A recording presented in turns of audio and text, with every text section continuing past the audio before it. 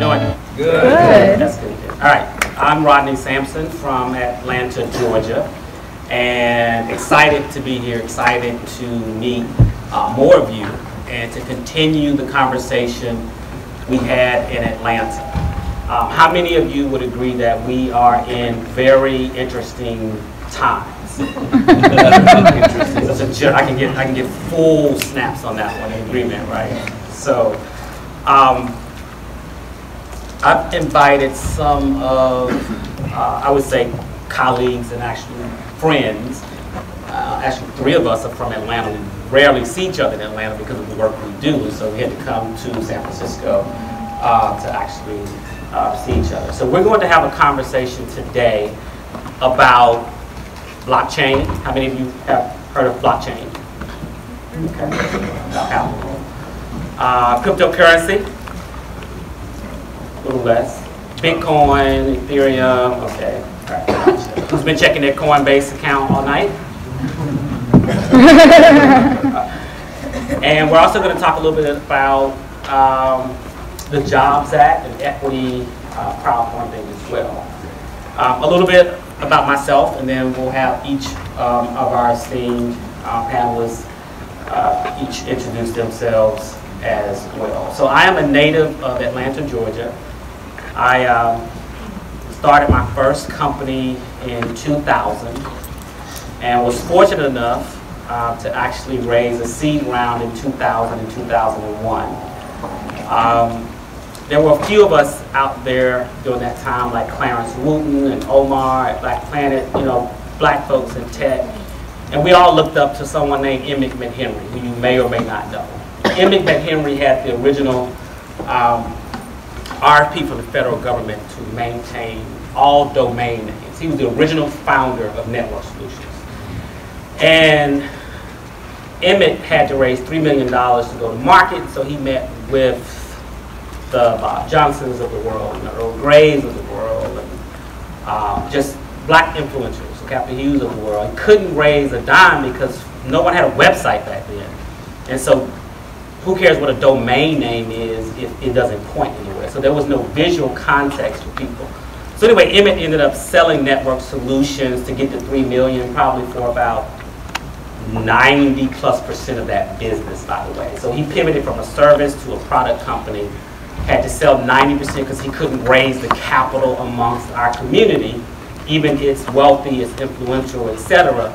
The company that bought Network Solutions then sold it for billions less than two, uh, two or three years later, right? So it was a huge, a huge number.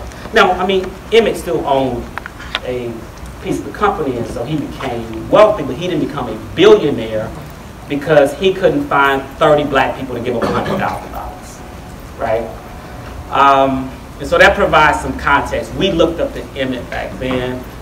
Um, it was very lonely in those days, the concept of raising capital for a high growth company when most of your colleagues who were in business were either in government contracting, corporate supply diversity, family-owned businesses. And so the concept of building a high-growth business for the purpose of actually scaling it and selling it was a very lonely place to exist because everyone thought you were crazy and family didn't understand what you were doing. Why couldn't you just go get a regular job and just, you know, put that degree and all that Sallie Mae, you know, you had um, to, to work. Um, and so that's how it was in 2000, 2001, 2002. There was no definitive conversation about blacks in tech. No one was, you know, one was talking about it. Um, and so we come full circle, and now that it has become more of a positive narrative in some regard, um, I look backwards and I say, you know, we really haven't come that far since the early part of, of the century. And so I've um, dedicated um, this part of my life to a concept called ecosystem building, which is essentially building the infrastructure um, and the capacity to help entrepreneurs to actually launch and, to scale. And so I won't bother you with the specifics of that. I'm across the social graph um, on LinkedIn. We can connect there. I have published four books. Uh, latest one, uh, which was four years ago, called Kingonomics, 12 Innovative Currencies for Transforming Your Business and Life, inspired by Dr. Martin Luther King Jr. It's on Audible. Uh, it's not in the stores now because it's not a hot book, um, but you can still you know, buy the book on Amazon. The thesis was, I thought, pretty simple, but yet complicated.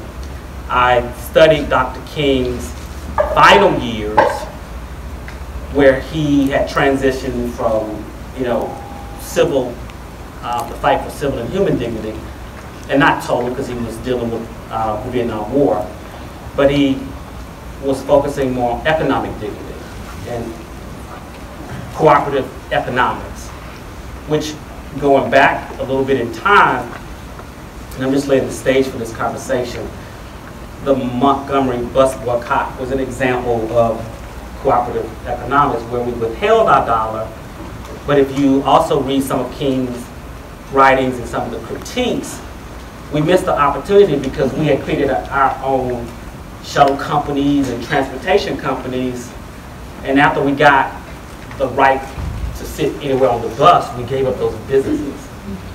And so it looks like for every milestone that we achieved, even the construct we call, you know, integration, there was a trade-off for our economic dignity. We lost businesses, we lost entire communities, and we really haven't um, had a renaissance per se in terms of that in, in, in our country.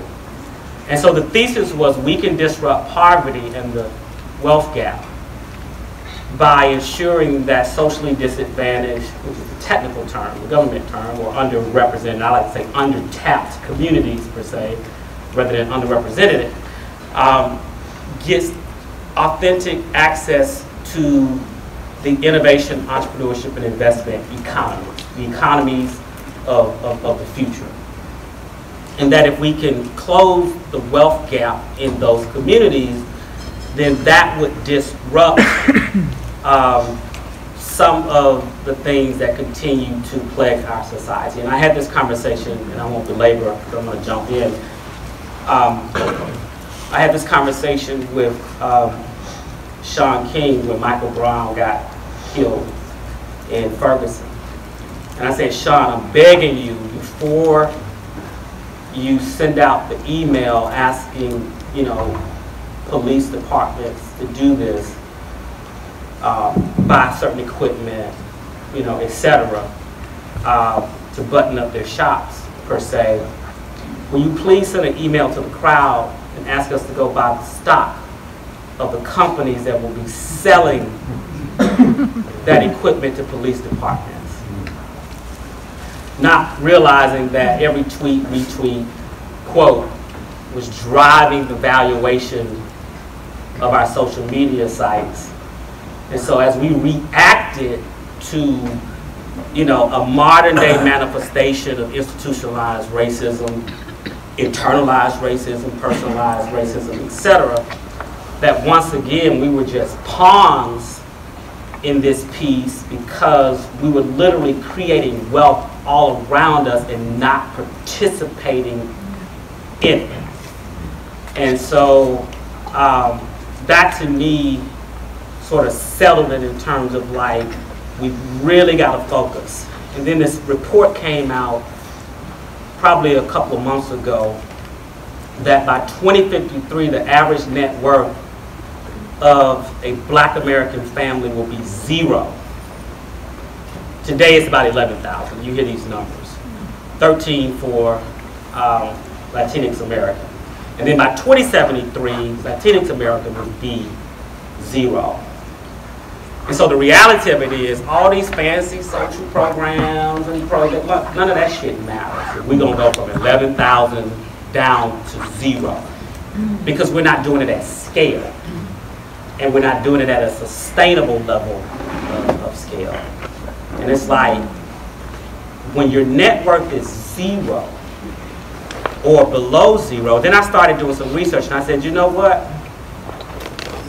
Navient, Sallie Mae, we're coming out of college, graduate school, and PhD programs with terminal degrees mm-hmm. and two, three, four hundred thousand dollars worth of liability of debt. How do we climb? We that means it's going to be a lot of smart black and brown folks with terminal degrees with less than zero net worth. And so, um, yeah, all right. so with that being in mind, I wanted to provide that context, a little bit about my personal journey, a little bit about why I believe that inclusive innovation, entrepreneurship, and investment across early exposure, education and training, ecosystem building, and what we're talking about today is literal, literal capital formation that has never existed before in this respective shape or form. And so the buzzwords that we're hearing out there are cryptocurrency and blockchain and crowdfunding and seed rounds and down rounds and private equity and venture capitalists, all of these things. And we are still so nascent in our participation in these wealth, you know, literally wealth creation opportunities. For the first time in history because of technology and the opportunity to build a high growth company, you can create multi-generational wealth with no reliance on pre-existing multi-generational wealth. In the past, if you didn't have access to the networks, the connections, and or the resources, the equipment, and we have people, uh, some in leadership positions in this country who minimize the reality that they started with a million dollars that they could have lost and then got it again. And so, for the first time in history, and so the world is literally changing, and it's changing so fast that even I, as I turn 45 this year, struggle with it creates an anxiety of actually keeping up with the pace of it. And some people would say, well, you've got it figured out. No, it is an anxious space to be in. It makes me feel like how I felt when folks were trying to get me to set up my first MySpace page. And I was like, what are you talking about? Why would I ever do that? And it sounds like when Steve Case, if you ever talk to him, how it took him 10 years to convince people that people would actually pay to want to be on the internet and to even use this thing called that no one would use it. And so we're seeing these different revolutions of paths. So with that context, without further ado, I'd like for each of our esteemed guests to introduce themselves um, with some brevity so that we can then jump into the conversation and then allow for um, questions. I want us to leave here today. I, I don't want just to introduce terms. We can do that. But I really want to talk about how can people start? Like literally, what, what did you do? How can you do that? How can others do it? So they leave this room understanding what a potential path. None of this is a panacea. None of this is a silver bullet. But this is a path that, that some of us have chosen. So I'm going to start with Chrissa McFarlane. Um, and why don't you tell us who you are, tell us why you qualified to talk about blockchain and cryptocurrency and startups. Yeah, sure. Hi, everyone. Very glad to be here. Thank you for having me. I'm Chrissa McFarlane, the founder and CEO of Patientory. Um, we're the first healthcare cryptocurrency. We are also the first healthcare initial coin offered. ICO, you've heard that around town, and the first healthcare blockchain so this past summer, we, uh, our ICO netted 7.2 million in three days. Um, a little background on myself, I was actually pre-med going through college, you know, born of immigrant parents from the island of Jamaica. It was either you went to med school or you became a doctor. Um, yeah, right. Um, decided, you know, you know, went went through college, went to Cornell, um, upstate New York.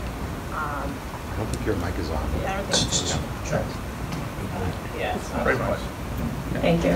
Um, yeah, and I was introduced, you know, just randomly to the world of digital healthcare, and that was back in 2010, 2011, when we had this initiative from the White House to, you know, to build entrepreneurs that can, you know, build the future of healthcare, especially since it's one of their main industries um, that's bankrupting um, our economy today.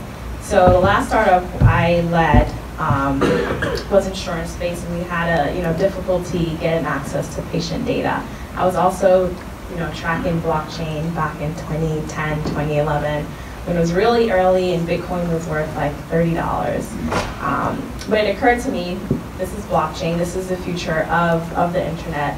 It's you know high, highly secure um, database mechanisms. Why not attribute to, to the healthcare industry? And that was my inspiration for starting the company, um, Patientory, two years ago.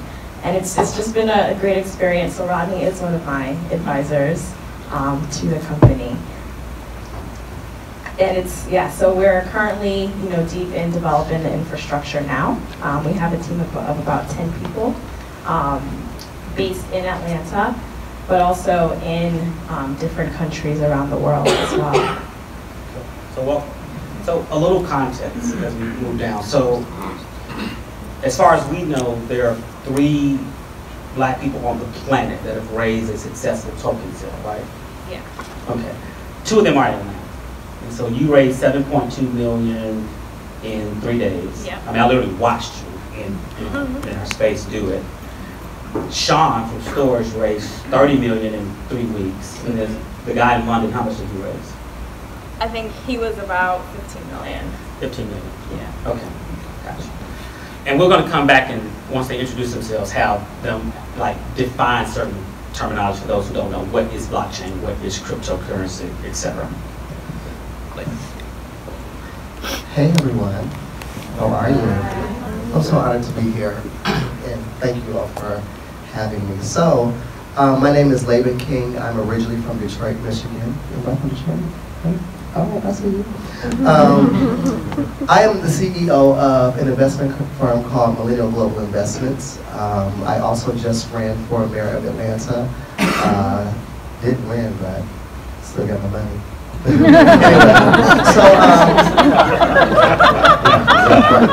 so um, Why did you, why did you run, Laban? Let's, let's. well, um, I ran because um, Atlanta is a, well, my mother's side of the family is from Atlanta. So although I'm from Detroit, um, I saw Atlanta before Atlanta became the new Atlanta. I saw the pre-Olympic Atlanta. And um, when you look at Atlanta right now, um, it's about 64% gentrified. Um, it's the highest wealth gap in the nation. Um, number one when it comes to uh, um, homelessness per capita. Um, if you live in Atlanta and you're in poverty, you have a 4% chance of getting out. I have seen poverty like none other. And you know, being from Detroit, um, when I grew up in Detroit, I saw wealth. You know, don't let anyone fool you.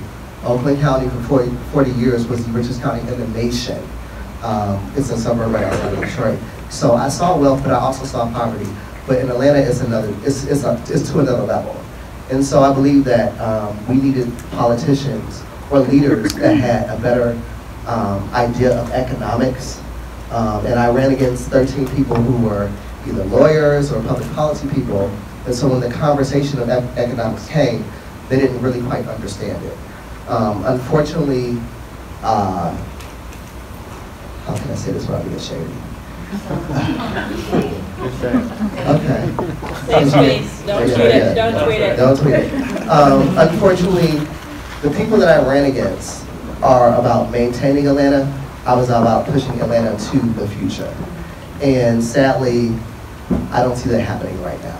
So what I've decided to do was to continue what I'm doing in the private sector, partnering with people like Rodney and some of the other people on the panel and some people that are in Atlanta. Because when it's all said and done, um, people are suffering now. Don't have time for you to go to a bill and wine and dine somebody, like people are suffering now. Um, how I came to owning an investment firm, it actually started out with my love for ice cream. So when I was a little kid, um, we used to have this little shady ice cream man that would drive down the street really, really fast, seriously. And so we wouldn't have time enough to go and flag him down and like go back to our house and get the money, right? So I said, okay, if you go play on this block, you gotta pay dues. And you're gonna put your change in the bucket. So when the ice cream man comes, all you gotta do is take the, the, the bucket and run out, and I'll buy everybody ice cream. And so, I started like an an investment ice cream company. And I didn't even- and I didn't even realize that I did it. And so, um, I went to the University of Michigan and, um. Yep, go blue. And, uh, studied history. I also worked in the music industry. And it's a full circle moment because when I was a freshman, that young man right there started a record label with some of the best talent. Angela Burchett is one of the best singers in the world, and so is her sisters. And so I was really inspired by what you did, you know, you. being a freshman, seeing you start this record label. And so I ended up starting a record label. I worked for a lot of different artists, this, that, and other. But um, like my grandma said, the purse comes first. So when the music industry started to kind of like dwindle as far as money, I was like, well, let me take my money and go into real estate because my parents had did it on the side as well. And um, I went to Dubai with my best friend, and in Dubai, someone was telling me about um, Bitcoin. Kept on talking about Bitcoin, actually was my best friend's friend. And the whole trip, I mean the whole trip, he talked about Bitcoin. Bitcoin, Bitcoin, Bitcoin. And so I was like, this don't make no sense. I'm not gonna do it. Just, I didn't understand it. I especially didn't understand the technical aspect of it. So um, we went from Dubai to Egypt. And if you've ever been to Egypt, you'll see like the, the, the, uh, the pyramids, like one block is like bigger than me. Like it looks much different in person. And so, went back to Dubai. He kept on talking about Bitcoin, Bitcoin. I was like, dude, I'm not interested, yada, yada, yada. So on the way from Dubai back to Atlanta, we hit some horrible turbulence in the air. And I was on that plane, I was in labor. You didn't got on this plane and you don't understand it. Why would you stop from investing in something based upon what you don't understand? So, I was like, you know, when I when I land, I got the money to waste, this, that, and other. So I'm gonna buy some Bitcoin, and so I actually bought it when it was sixty-nine dollars a coin.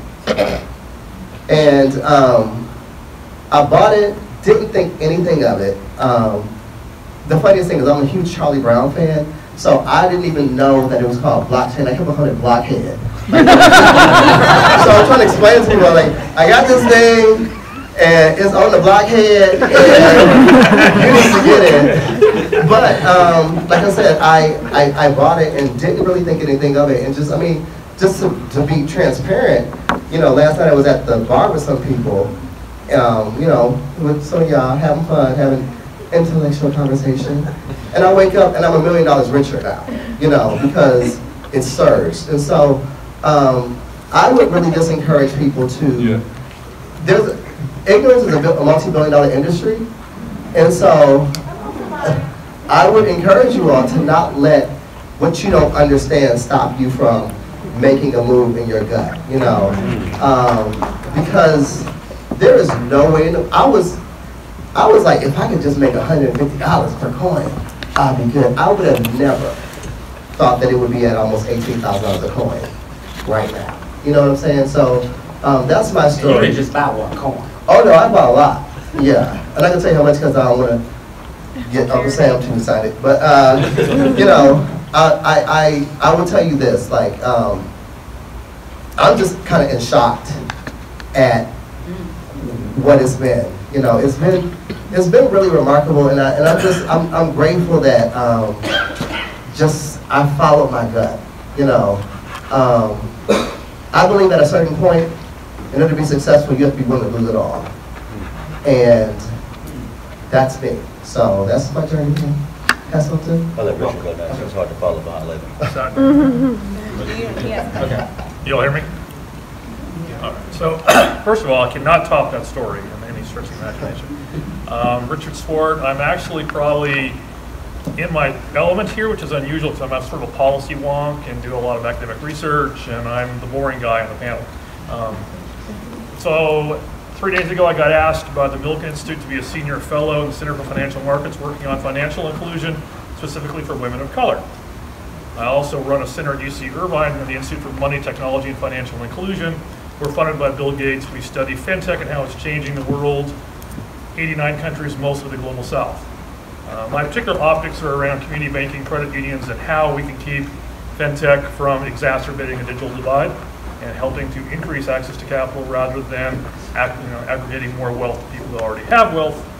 And so when I was at UC Berkeley, I used to teach there. I with the Institute for Business and Social Impact. So my brain is basically this side is technology, and this side is how do we keep it from screwing up the world more, to put it in a non-academic sense. Uh, I met Rodney, and I've been working with Rodney for six years, seven years, something like that.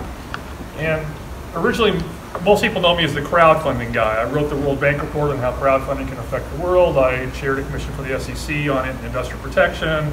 I've done a ton of work globally around, including in Egypt, around how crowdfunding can be done, how crowdfunding can change communities, and I'm sort of the crowdfunding wonk. Lately, like everybody else, I've been pulled more into ICOs, cryptocurrencies, tokens. Uh, I'm on lots and lots and lots of boards and play with lots of companies. Give an example of one I want y'all to be a part of. One's called CrowdSmart. It's, a, it's called collective intelligence. You take AI and you marry it to smart humans, the outcome's better. And CrowdSmart is basically AngelList with technology, not just a bunch of rich white guys investing behind a bunch of rich white guys, which is basically what AngelList is. Um, making a lot of money doing that model, like they always have. But the advantage of CrowdSmart is we're basically a venture capital firm with AI. 21% of our investments go to women. And that may not sound like a lot, but if you know the venture capital industry, it's more like 2%, 1%. Mm-hmm. Okay, so we're 21% in our model. We hope to get that higher, but AI can't cure all social ills, but it looks like in this particular case, AI is removing the majority of the racial bias and the gender bias. Not all of it, can't ever fix the world, but a lot of it. Part of our technology is we've engineered a diverse pool of human experts, like all of you.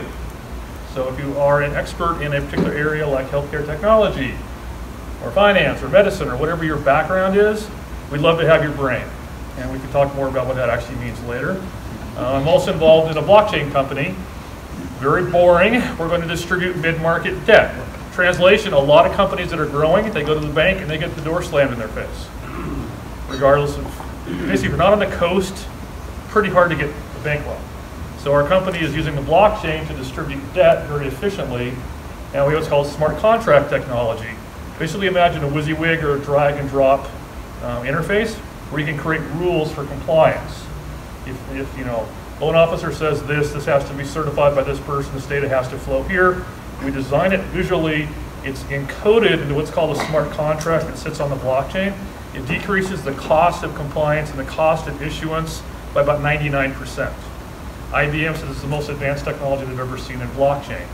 So I'm playing in blockchain, not my technology, didn't invent it, but I'm having fun with it, playing with some uh, alternate AI systems, and go to Atlanta and help Rodney when I can. Well, good to have you. Thank you. Jervis. Which one works? Hello, everyone. Um, my name is Jervis Hough. My background um, isn't that varied. It's actually financial services. So I started my career um, once I, since UM got a shout out, uh, since Clemson won the national championship last year. We're going to do that. So when I left Clemson, um, went to Atlanta and I began with a little small company that started out here in Rancho Cordova that you may have heard of. It's E-Trade. Um, E-Trade's still around. Uh, started there, and it was interesting. I came out of graduate school and knew I wanted to be in financial services. Um, my mother worked for what is now Progressive Energy. And so when I was a, a kid, I can remember her because, of course, they had stock options, employee stock options, right? So she would uh, get the paper on Fridays, and you know, you had that one part where you had all these numbers, and it just had high, low, close. And this is what it looked like years ago when you just couldn't get that information. You either got it at 5 o'clock in the afternoon or you got it in the newspaper at the end of the day or on the weekend. So I remember being in third grade and we were learning how to look at newspapers, how to go through everything. And I remember opening up and the teacher, everybody else in the class just talking and going through and I opened to the financial section. And the teacher walks by and she's like, what are you doing? And I'm like, I'm looking at my mom's stock. And she you know, she thought it was the funniest thing. So she, she told the principal, my father was also a principal in the in the same district. So when I got home that day, he was like, "Well, you don't own any of it. I don't know why you're looking at it." I'm like, "But I will, but I will." So that was kind of the beginning of everything. And so, uh, fast forward, um, I worked for what was uh, NASD, which was the regulatory agency for NASDAQ. I started my career there. Uh, Again, very, you talk about a- an industry where we are not represented at all. It's financial services. Reason being, you know, we can talk civil rights, we can talk human rights, um, and I always say human rights, I don't say civil rights, because I think a lot of times we use it, the term civil rights was given to us in the United States to somehow disassociate our plight with other marginalized people around the world, so human rights struggle. Um, When you look at it, all in all, the last vestige, the last piece that we need to get is the, is the money piece, right? So I always tell people, I'm in financial services basically, uh, basically because I understand that. So again, fast forward, I was at NASD, NASDAQ, um, NASD became FINRA regulatory, so I was basically like a cop. We went out to investment banking firms, we went out to any type of firm, it could have been mergers and acquisitions, it could have been uh, just a regular retail firm, but we were the people that went in and did the audits, quasi-governmental, uh, just to make sure they weren't taking money and doing, you know, crazy thing, crazy things. It was the same company that missed, uh, that missed Madoff, actually missed Madoff. And I'll fast forward to a story about that. Um, so for the last eight years, I have either worked for minority investment banking firms. I actually started my own consulting firm, which I still have, and I still do a lot of work for other smaller uh, investment banks uh, on the compliance side, where I'll go in and do their books, uh, look at their business model, do some business development for them. I love it. It's, it's what I do. So about seven years ago, I think I met Rodney and, and Richard. So at the time, um, one of my clients actually asked me to become the CEO of the company. So one of the reasons I'm up here is that from a crowdfunding perspective, uh, I was the first CEO of what is now Jumpstart Securities, but if anybody knows crowdfunding, they know Fund America. It was originally Fund America. So when Scott Purcell, who was one of the early innovators with the internet, um, and that's literal, I used to always get on him about that on his Wikipedia page, right? But I'm like, you really have that, you're a like, you can't do that, Scott, that's not, but when you really look at it, he did have a lot to do with some of, some early adopting of some of the, um, some of the technology. So what happened was, we were sitting around one day, and this is when I knew things were different, we were putting together the technology, which later became Fund America Technology, we were sitting there at his place in Vegas, keep in mind, he'd had like a $60 million exit when he was like 39 in another company back in the day. Um, so he has this really nice, but it's, you know, nice little house in, in, in, uh, in Vegas. We're sitting there, you know, Scott. So, and he's like, um, "Hey, how much do you think we're gonna need to implement this technology? And I'm like, I don't know. Um, we're done building now. What do you want to do? So you think a million to do it? Like, I don't need that much. You know, just bootstrapping. We don't need that. It was like, well, cool. Um, we had another partner in the business. He was like, we're just gonna ask his dad for, for 1.8. This is the moment in life when you have the aha moment, like, where I'm from, we can't do that. He legitimately said, tomorrow, we're just gonna ask him for it. I'm like, okay, whatever. Later on that night, he actually makes the phone call. He's like, yeah, just, we need, you to wire, you want me to send a check, how do you? I'm like, you, you are shitting me. Like, for real? We're sitting there having beers, you gonna call somebody else's father, he just gives him money like that, and he did. Uh, next thing you know, it's in Crunchbase, and I'm looking like this wasn't even a real capital raise. Like I did the, I did the documents for it. Again, I have a compliance background, so I did all that. So when you start looking at it, again, as we start talking about cryptocurrency, as we start talking about blockchain, more so anything, the value add I want to give to the conversation is just what it means for the, uh, the democratization of capital and what it means to us, for us to really have to understand that right now, we're in a space where we've never been before. When, when Obama and his administration gave us the Jobs Act, you basically had a situation where those rules hadn't been changed since the early 30s. When people talk friends and family rounds with accredited investors, you just went over what the average household income was. That means you don't know anybody's got 250. I mean, I did because I know a bunch, I know some athletes and some entertainers that could have given me money, but not as a kid, not at 21 years old. So with that being said, like I said, what I want to be able to talk about here is, is that piece of it. So as we go on to speaking about the blockchain and um, some of the pieces of cryptocurrency and some of the other things, that's what I hope to be able to add to the conversation. So.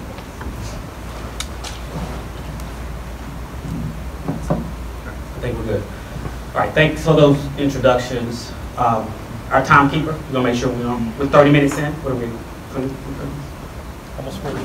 Almost 40, all right, so we got, let's go, let's go through a quick terminology. I don't want to assume. And I'm going to kind of ask questions as if I were a non-accredited retail um, investor. And um, how many, how many people know what an accredited investor is? Um, Only, Jervis, give us a quick definition of an accredited investor. So I'll give you a very quick, it's basically $250,000 net worth. Um, And there's some, there's some things that you can do. um, point. So you can have some passive income, it really is two, just keep 250 in mind. If you are a finance professional, now they just changed the rules where you- you're actually an accredited investor, from a money standpoint, 250, I think, for a household, um, so they cha- they just changed it. Two hundred thousand Individual. individual, three hundred thousand for a consecutive two years of income, and/or one million in net worth that does not include your primary oh. home. Yep. Actually, so we're talking policy, before Dodd-Frank, it could include your home. And then post Dodd-Frank, Dodd-Frank, it could. So the four hundred thousand African Americans in this country that are considered to be high net worth, so one percent of black America has a net worth over a million dollars, disproportionately, a lot of that is in a home that was impacted by the 2008 um, um, economic downturn. And so those who have the legal ability to invest um, beyond the initial 35 investors in a seed round. And so funding, we're talking startup funding for those building high growth companies to get that first 250 or a million. Um, that's where the SEC has those, those, those, those respective rules. So that's the difference between, everybody else that doesn't have that million dollars or that income is considered a non-accredited investor and has limited access to invest in start-up businesses that may have the potential to, you know, to grow and scale. And the Jobs Act Jumpstart Our Business Startups Act signed April 5th, 2012 by President Obama was one of the most bipartisan actually pieces of legislation. Off the record, it was said that the president at the time said it was the most influential piece of legislation for African Americans outside of the Emancipation Proclamation for the Southern slaves. And just to add, because he mentioned um, the wealth that happened in 2008 when the recession happened, 64% of black wealth was lost during the recession. 64%. And so that accredited investor uh, number is down a lot in this country. And so I think it's a, a point, like I started an organization called the New Black Wall Street Movement, but our, our legal name is United Economic Development Council of America. And within one year, uh, we have a, a little bit over 100,000 people in the organization. And um, that's because I'm good at Facebook, I'm good at wrong. But um, what we've been able to do is to help people with their credit. You know, the goal is to try to get people to start off, you know, focusing on their credit, 750 and higher. Um, a lot of people don't understand credit is king. You know, if you, if you have great credit, you kind of got the keys to, um, well, something like this. Every wealthy person has good credit. It's the foundation for wealth, for the most part. Uh, and so that's the goal. And, and we also are doing other things to get people to be accredited. But just the fact that people don't even know what that definition is, we have to be able to educate people with that. Thank you, Bob. All right, next definition. Chris, what is the blockchain? That's a good question. Everyone wants to know what the blockchain is. Um, in simple definition, it is a distributed database, um, a ledger that where you can basically store and release transactions. Um, and you can apply to any industry. So that's and that's where we see, you know, this past year we've seen um, more industries start to adopt and pilot the use of blockchain technology especially because it also solved the issue of double spend, um, where if you transact, if you send a transaction from point A to point B, you don't have to worry about it, you know, being taken out of that account a second time. Um, so that's one of the, the miracles of blockchain and, and why it, it has such, you know, great implications in the financial industry, um, but looking down the line into supply chain, um, healthcare, um, and other use cases. So, so the basis of Bitcoin, since it's the most, one of the most popular primary currencies, and we'll talk about what a token is next, is the actual technology that it is built on, which is blockchain. And the path to building blockchain technologies currently, because it's constantly evolving, would be if you are a uh, database developer, if you're a Java developer or a Python developer, and then you learn a new framework called Solidity. So Solidity for the computer science folks or the coders in the room is where actual blockchain technology uh, is being created. So when you look at from a policy perspective, you look at workforce and WIOA and the types of training for the types of jobs of the future. If we're not able to train people in those skills, then we also won't be uh, the developers in, in, in the industry in, in getting those respective jobs. It was brought up last evening is that it, it seems like there's a lot of uh, ex- pre-existing and current uh, white supremacist, uh, institutionalized racist ideas in tech, i.e. like the James you know, Damore thesis that came out of that developer. Um, these new technologies are also harboring these people who also have these ideas. You know, the deeper, the, the more traction we get in tech, the deeper they go into the technology. And the deeper they go into the technology, the more of the infrastructure that they actually um, control. And so we have to be also mindful in terms of actually, some of us in the room have to be advocates for learning the skills to actually build the technology. The two primary, uh, well, well, you, some of the main use cases of blockchain technology is secure transaction, you know, sending transactions back and forth securely and then storage of data. And now even though blockchain is being hacked, because the developers are getting smarter, they're using AI, artificial intelligence, machine learning, they're using that to actually hack. It is harder to hack. Equifax should have been on blockchain technology, right? Core data in this nation that we consider secure, like in health, HIPAA data, should be on blockchain. And what I've come to realize, just looking at it, the entire internet is being rewritten on blockchain. So like if you're building a tech company today and you're talking about it's on Node.js, like you know Google's primary stack is like React Native, Joe Node.js, like in the future it will be irrelevant. And so those developers are learning Solidity now to keep an edge on the actual programming stack that's, that's required. Do you want to add to that? Just 30 second pitch here. Anyone know the name Don Tapscott? No. Familiar anybody? All right, look up TED Talk about blockchain. It's the most popular TED Talk ever in history of TED Talks. It's on blockchain by Don Tapscott. He'll explain it for 10 seconds or less. Um, Don's a good friend of mine. He says more wealth will be created in the next decade because of blockchain than the entire history of internet technology. Repeat, the next decade there are trillions with a T of wealth to be created through blockchain applications. If you're not in that stream, you're going to miss out. So blockchain, all right. This is for anyone up here. What is a primary, what, what is Bitcoin, Ethereum, and Litecoin? Anyone?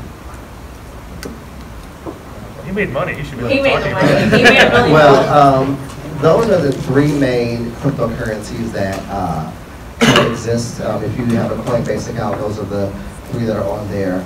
There are tons of cryptocurrencies out there. Um, there's almost a new one every day, but really they all go back to those three. Um, Bitcoin was kind of the first, so that's why it's the most popular. Um, my personal opinion is that Ethereum is better, but um, you know, it's it just kind of depends on you know what you like. I think Ethereum is more so of a token, right? It's both.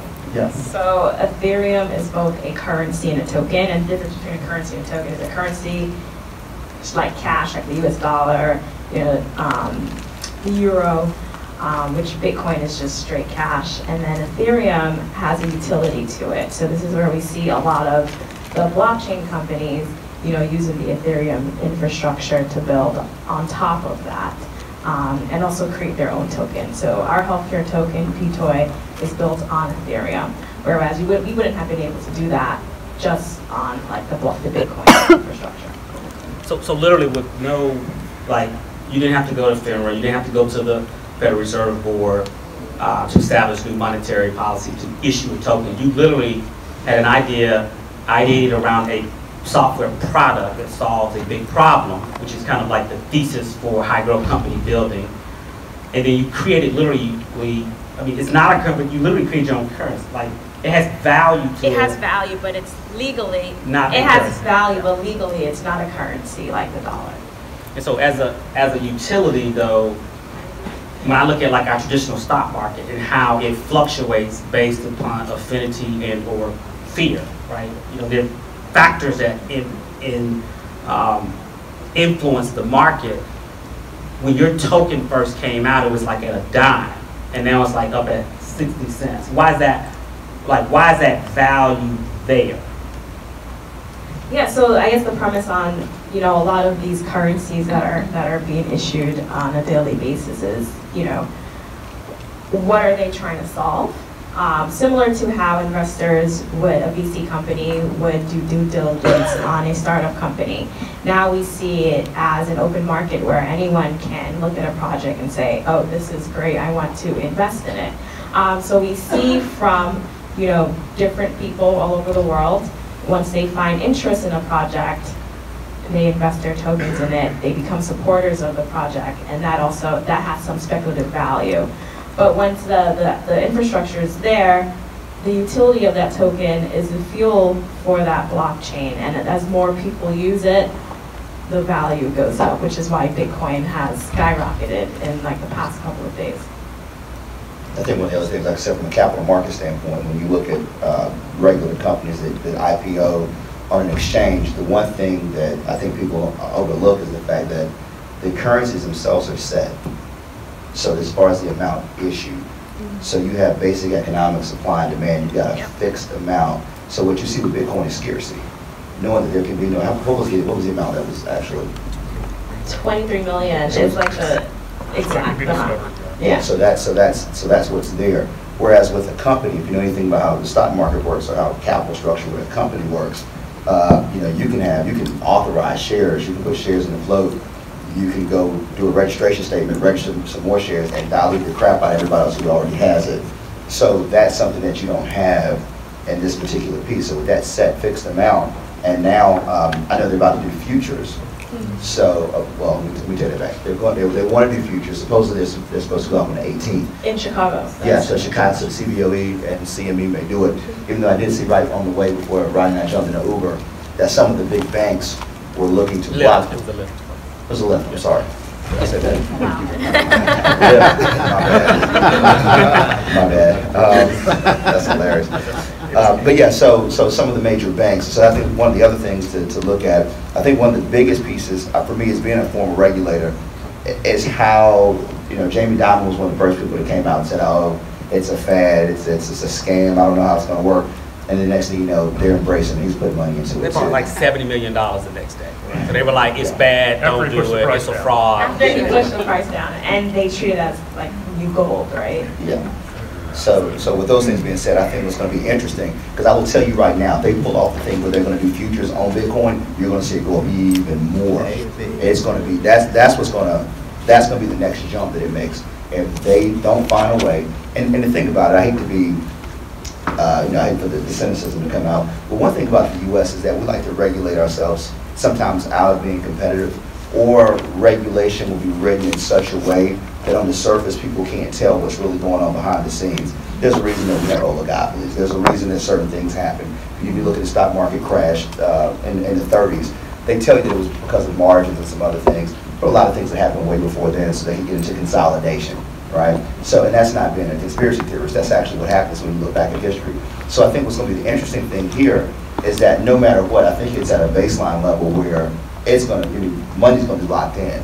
But if the regulation can stay fluid around any of the cryptocurrencies, we're gonna be fine. I mean, you're gonna see some huge, because the first futures uh, deal works for Bitcoin, and they can start doing some more, you're gonna see a whole list of futures market, uh, of listings in the futures market that you're gonna be able to do, and that's gonna, the demand is gonna drive up.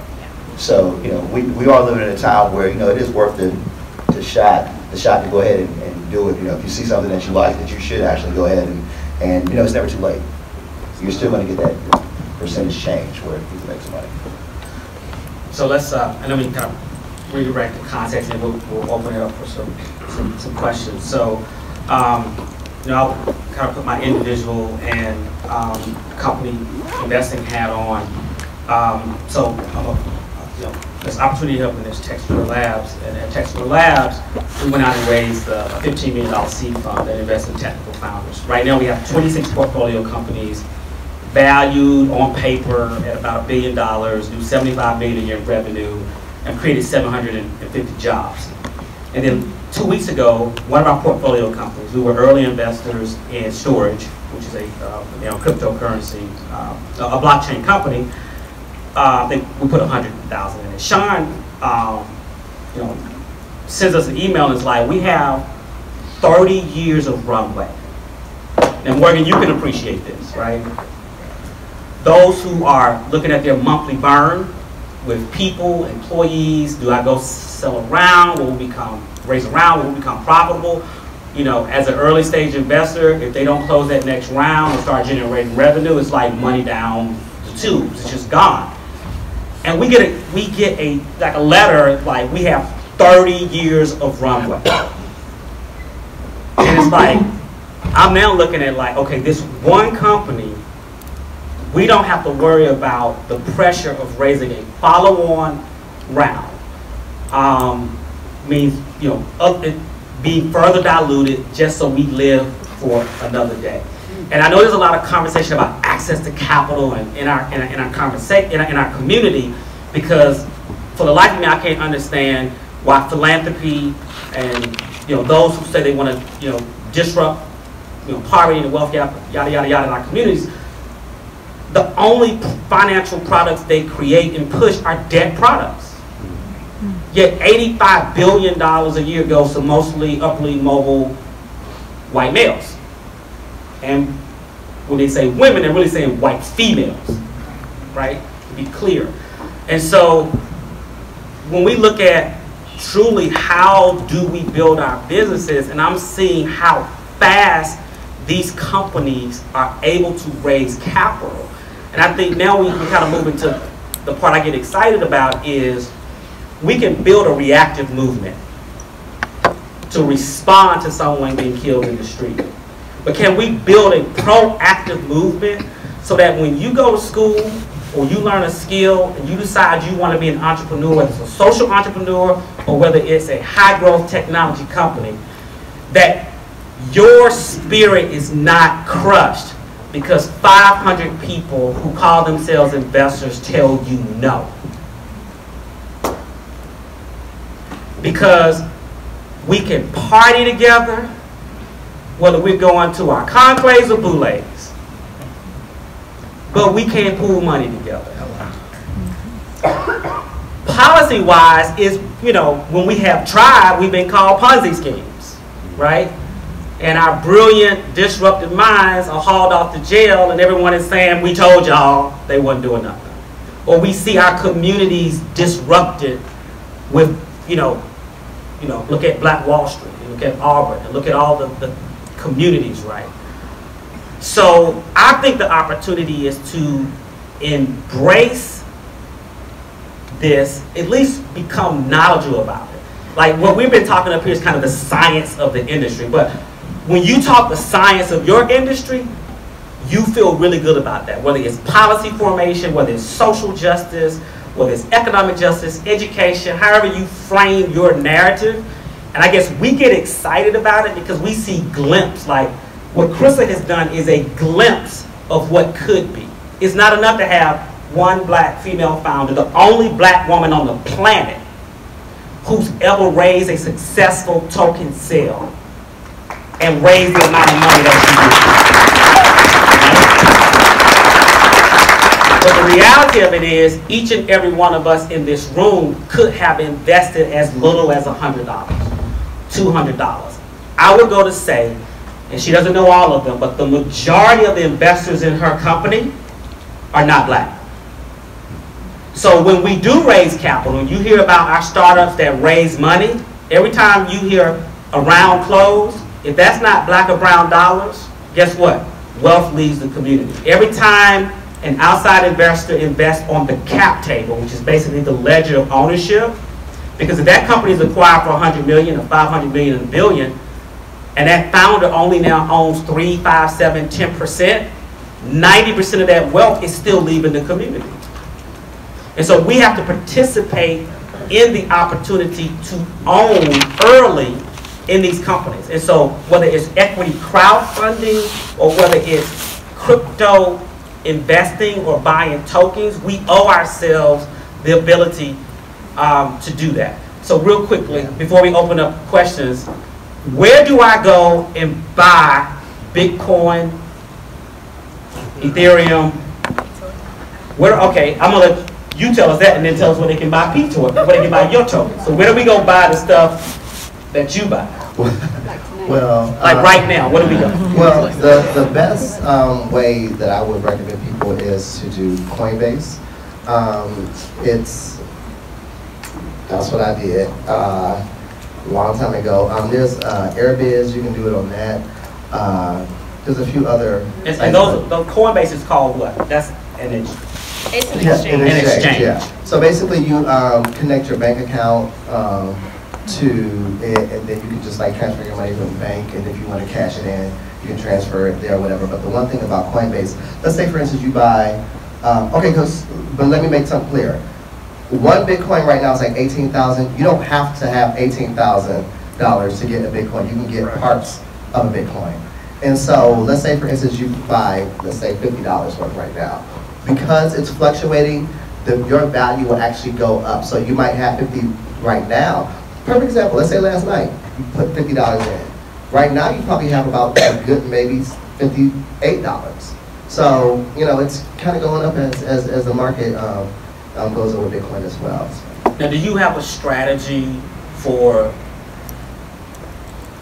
well, actually know the answer to this. So basically, you just put your twenty-five in and just let it sit. You have never touched it. I've only taken five hundred dollars out, and that's because I like had some issues. But uh, So at the wine thing tonight, you take some wine out like you oh no, Google's paying for that, right? I ain't got that much. But um, yeah, but so what happened was basically I well, and the funniest thing is I literally set it and forget it. Like I forgot my password and Coinbase, don't forget your Coinbase password because they're gonna put you through the ringer to get that back. And it just it kept growing. And to be honest, I okay because I invested in it in April of 2013. I really didn't start checking it back until about December of last year. So I just randomly go on my Coinbase and I'm like, bless God, like you know. So How do we buy tokens? And then we're gonna open it up for questions. Um, so like you said, Coinbase is the U.S. cryptocurrency exchange as well as Bittrex, B-I-T-T-R-E-X dot com. So they're the second U.S. um, based exchange. They're in Seattle, and that's where you can also buy Ptoy and Bitcoin, a lot of the other alternate currencies. Bittrex. Can you repeat Bittrex? I think you Bittrex. know to spell it. Oh, it's B-I-T-T-R-E-X, Bittrex exchange. Gotcha. Okay, let's open it up for questions. No questions. Hi, uh, my name is Jorge. Uh, I am an entrepreneur and uh, marketing strategist and also an adjunct professor at Bard MBA's School of um, Sustainability. And one of the concepts that you're discussing, um, or introducing at least, is um, the idea of e- exploiting the equity crowdfunding mechanism to create wealth. I want to dig deeper into this because I feel like I've gone to church here. There's a little public theology around finance and how to create some maybe moral capitalism um, through equity crowdfunding. Can you go a little bit deeper into um, what do you mean by uh, we no longer need capital in order to create capital as a result? So I'll, I'll, I'll, I'll put my prelate hat on for a minute and uh, socialize this uh, Pentecostal Yeah, I feel it. context. I feel it. Right? Uh, I might even raise a crypto offering. Right. A a money line, right? Right. Jamal got that. Um, there, there, I'll say an adage, it's a scripture, but there's an adage that says, a man or woman that does not leave an inheritance to their children's children is worse than an infidel. It is not even a defined construct. Because usually infidelity is, you know, folks hooking up, you know, folks cheating on one another. Infidelity has a sexual context. But I think we miss the point of infidelity if you go to that particular, you know, scripture. The scripture's taken in balance. I'm, I'm, I'm talking in an isolated context right now that a man or woman that does not leave an inheritance to their children's children is worse than an infidel. And so I'll go a little bit further and say like, might be unique in this room, but like to only go to school, to get a job, to have a house and have a car, and be a socialite and have status and pontificate, that in itself is living beneath our privilege. And that that in itself, you know, everyone wants to focus on is that a sin, is that a sin, is that a sin? You know, I think to not leave an inheritance to your children's children is a selfish sin. Mm. And so whatever mechanism you decide to choose, whether it is equity crowdfunding, whether it is cryptocurrency, whether it is startup investing or working at a startup or advising a startup, that the path to multi-generational wealth and context is not just for the sake of having money. I don't think we can relax as a community to have money just for the sake of having money when you know there are probably 10 people in your family that would die tomorrow and you have to pass the hat to bury them with dignity. So don't tell me you financial in your sorority or your fraternity and y'all still passing the hat to bury folks. And I'm supposed to respect you. And I pledged a fraternity 26 years ago and I have this conversation that we can party together, but can, we can't even extend economic dignity to one another. And so to me, poverty in this country is the sin of racism and the sin of classism.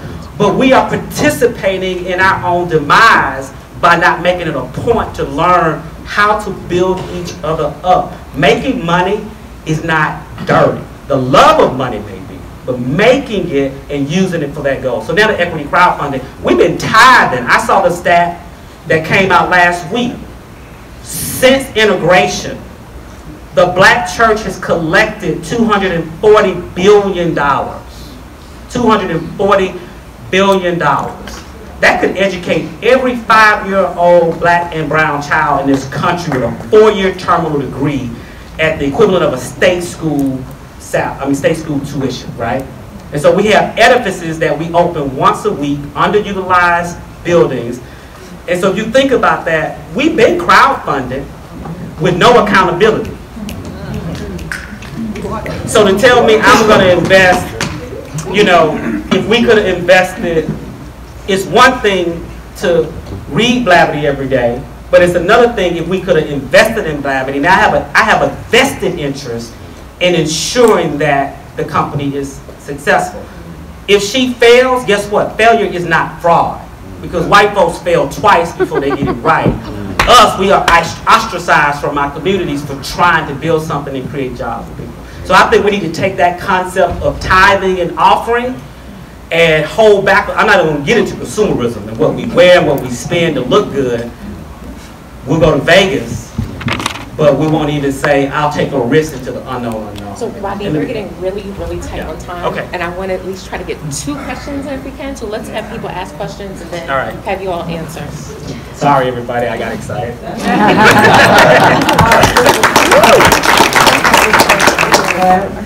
So perfect, my question or just comment, question is about risk. I mean, that's, I think, the barrier. There's absolutely the cultural concerns that you address. But look, I can give somebody a hundred dollars and maybe on a good year I give them a thousand, but if I lose that, I don't have another thousand to replace it. And so I wanted some maybe suggestions or strategies when we're thinking about investing. There's all these different types of currencies. Are there hedge, uh, are there index funds? Are there ways for us to mitigate the risks? Because maybe that would kind of lower the barrier for us to, to enter the market. Can we do a two-minute answer? real quick. So risk, you have to diversify. So this gets back into, into traditional asset allocation. So if you're going to, and it, it all depends on the individual, right? So everybody has a different risk profile. Your personal risk profile is what you have to be willing to kind of take complete loss on. So you work in reverse. This is what I always tell people. What are you willing to completely lose? If you are going to go to Vegas and you're willing to lose a thousand, five thousand, whatever, you take that piece, then you, you, you basically parcel it out. So if you're going to look at cryptocurrency into you, you think that's a huge risk, and you're not a, you're risk averse, you're not really the kind of person who wants to take a lot of risk, that's a smaller part of your portfolio.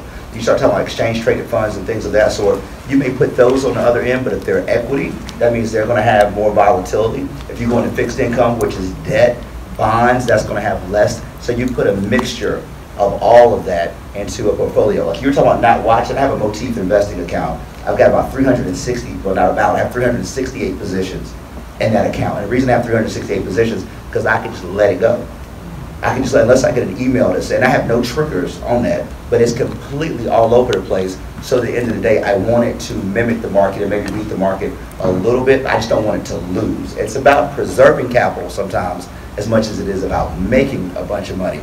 We always hear the good stories about the upside, but just like trying, people trying to get into the NFL or NBA, for all those upside stories, you got a lot of people who lose everything they have. So you have to diversify that out and only take as much risk as you can bear at that particular time. This is, ri- this is the risk capital, all of this, startup investing, cryptocurrencies, token, like, only invest what you can lose. And, and, and the one thing, just think about this too, and I hate to be this blunt, most folks losing anyway. So it's like, I don't want to lose, but you lose it anyway. Because when you don't play, you're losing. And, and, and I think that it's just at a point in which you really have to take that, that, that risk and and just be like, you know, listen, as long as you got breath in your body, you can recover. That's how I look at it. You know, I'm, I know what I got in my head, I can't lose that, you know, God willing. And so with that being said, I know I can just bounce back, so. Just We have two, we have two minutes left, so let's get this next question. go. Uh, Now that the dollar is no longer backed by gold, how do you think cryptocurrency is going to affect physical currency? And at what point is the government going to say, hey, we want our tax dollars from what's going Already on? happened. They're already doing that. Yeah.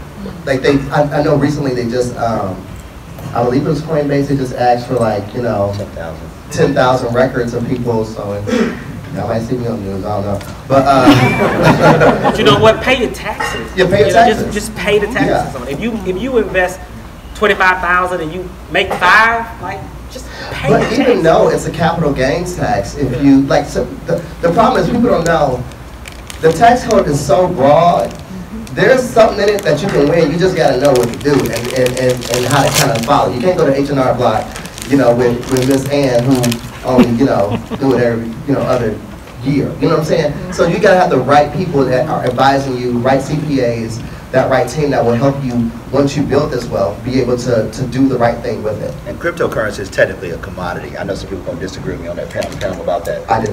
Yeah, it's, it's a commodity, it's not fiat. Because, because again, it's fixed. That's why we have M1, M2, M3, money supply, where you can go up and go down. If You believe in Keynesian monetary economics, it depends. But that's, it's fixed. So based on that, I love, I love financial nerd talk. We'll go on. Yeah, time is up, so uh, Rodney, since it's your panel, if you want to do the 30-second close.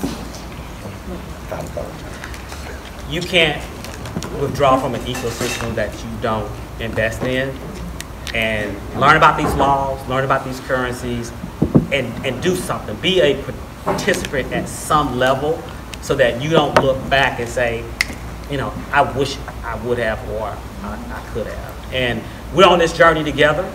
Uh, we don't have it all figured out. You know, the balance between, socio, moral, economics, and just, you know, capitalism, all that stuff. I know I've, we've had some conversations in this room about that. The balance is the key to all things, and we don't have the answers to that. I just know that if we can get people, $400 is the amount that couples get divorced over. $400 a month. We arguing over $400. If we can just solve that, or just to have the premium to pay our universal whole life life insurance policy, just so we don't lose the policy so we can pay it forward.